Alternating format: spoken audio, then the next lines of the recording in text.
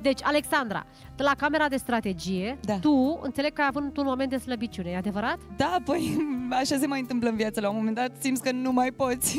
Bine, păi atunci ieșiți voi, vă rog, cu celelalte afară din platou și haideți să vedem ce a făcut Alexandra la camera de strategie, pentru că e clar că are o are o strategie bine pusă la punct și acum ne spune Andrei, iubitul ei, că ei au ticluit foarte bine fiecare pas. De asta Alexandra joacă conform planului și nu este nimic uh, de dat pe spate sau nimic de șocat în cuplul lor.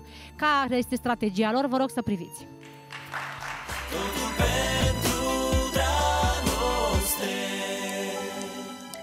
Bună. Ce faci? Ai plâns? Am obosit. Cred că am dat și să... Nu, acum am spălat pe ochi. Am obosit. Hai, care e următorul pas? Următorul pas să vedem ce se întâmplă acum cu Chris. și cu- Ideea e în felul următor. Fii atent aici acum. Hai. Bun? Ai reținut ce ți-am zis până acum? Să fiu atentă, haide. Bă, deci tu... că- Ce s-a întâmplat? De prima oară de când ne știm. Tu chiar ai făcut, fost într-o ucenicie. Îmi Dar din amintesc că care vorbeam știi cu cele Elena două și așa. arte. Arta visatului și arta actoriei. Bun? Așa. Asta ai venit să faci aici, actorie. Asta ți-am zis, am, am făcut o, o lună, am pregătit toată povestea Mhm. asta, da, am fost la Cluj, am făcut brainstorming-uri cu oameni care lucrează Mhm. în publicitate. Te-ai dus 12 zile în Italia, adică e, Mhm. e real ce zic? Bun? Mi s-a pus un not în gât. Păi pentru că ăla e ultimul punct pe care tu trebuie să-l ai acum. Tu trebuie să treci în rațiune. Alexandra, În primele zile am fost prea rațională. haide, am nu, n-ai așa. fost rațională deloc. Acum e rațiunea după, știi? E rațiunea de după. Băi, Alexandra, Zi. tu visezi New York aici? Mai unde să merg meu, să merg în altă parte. Bun, hai. Bumba, mă. N-am cum să te plâng. Hai, acum. mai Ai pui venit și tu 12 năsul zile, pe ai venit acolo. 12 zile, nu am cum să te plâng. Deci tu liniștește-te, poți să faci asta, să ieși de aici nesmiorcăită? Adică lucrurile despre care am vorbit, Așa, haide, zi, haide, gata, gata. Așa, zi.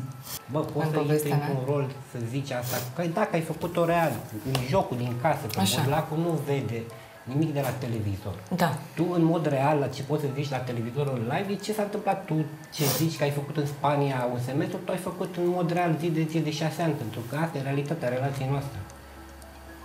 Mamă, nu înțeleg.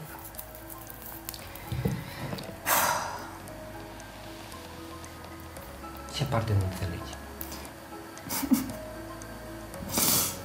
Deci, zi, nu înțeleg cu Erasmusul, cu Spania, cu așa. Băi, tu, trebuie, tu, tu nu poți să vii să schimbi toată povestea. Tu, povestea pe care ai jucat-o în joc, tu trebuie să o joci. Este ca într-un film, Alexandra. Cum ar fi în film actrița care joacă un rol să trezească după șapte, trei sferturi de film să zică că, bă, știți ce, ăsta e un film.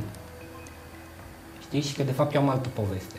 Tu ai intrat, joci un rol, îl joci până la capăt. Tu te-ai dus pe rolul pe care îl joci, trebuie să-l joci până la capăt. Asta ce înseamnă? Că acum, odată ce s-a terminat partea de acțiune, tu trebuie să arăți că totul a fost o strategie până acum. Despre asta e vorba, că strategia se face în cap. Noi strategia am făcut-o înainte, doar tu chiar crezi că vin și fac poezie aici să zic să după aia să se discute, dar ce strategie? Strategia se vede în final, se judecă la final o strategie. Și atunci, tu în ultimele trei zile, tu trebuie să vii să susții că aia nu a fost un joc.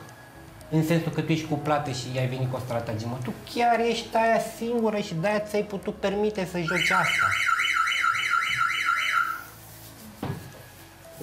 Și liniște. Da, ok, am vorbit.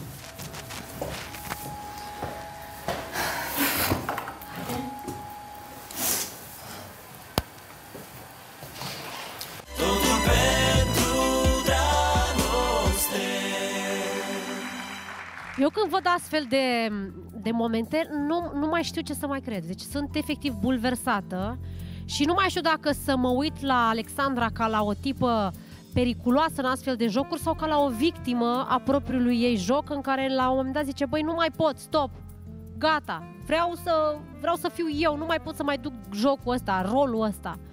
Acum mi s-a părut victimă, cumva. Tu, regizor, ea actor, care zice, e prea mult, domnul regizor, stop. Cam așa e în filmele bune. Da, dar uh, eu am crezut până acum că Alexandra e asumată, cum ne-a arătat în aceste zile. Sunt asumată Povestea total. e De în felul fapt, ea e doar într-un rol. E un pic mai complicat pentru că ea chiar așa e, ea e foarte spontană, adică nu vă imaginați că noi când am pregătit a fost la modul am învățat totul să po- Da, am învețe pe înțeles. din afară. E vorba de a intra în anumite tipuri de trăiri pe care ea le are și în prima săptămână a fost într-o trăire, Și după acum aia... de ce a dat-o în plâns și a apărut copleșită? Pentru că am și zona asta în care nu mai pot. Adică Da. da. le-am pe toate, doar că până acum au fost dispersate.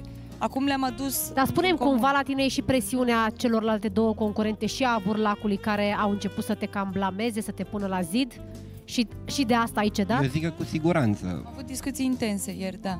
Deci și de-aia asta te-a ziceam că răpus. Nu mai pot, că a fost toată Am ziua înțeles. foarte, foarte intens. Ad- Adică ea a venit ca prietena tuturor și după aia pentru că dintr-o dată Sunt a schimbat reală, adică e pe foaia, bune. toată prietenia din părțile celelalte s-a întors în... uh, Am văzut și la televizor Ia. ce Prima părere avea săptămână, lumea despre Eu cu Cris ne vorbisem să ne facem amândouă o inimioară, un tatuaj. Și apoi ieri mi-a zis Cris că nu mai vrea să facă niciun tatuaj cu mine. Acum tu ce vroiai pe Păi, bune? și de Are asta și am ea plâns, că dreptate. Nu mai puteam, dar da, am revenit. adică, na, ați Acum, înțeles amândouă. Mie mi s-a părut foarte interesant pentru că Andrei uh, îi invoca rațiunea, ceea ce este puțin complicat.